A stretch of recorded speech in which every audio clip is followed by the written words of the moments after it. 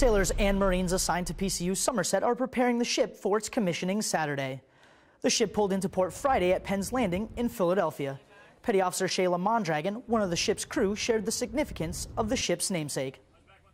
Once I started researching the history of the ship, then uh, I was really excited to be part of something like this and to help memorialize the people who fought back on that day.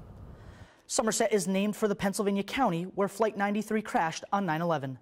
Passengers on this flight struggled with terrorists to regain control of the hijacked aircraft. Watch as Somerset's crew brings her to life Saturday on Navy.mil and direct to sailor. From the Defense Media Activity, I'm Petty Officer Tony Rosa.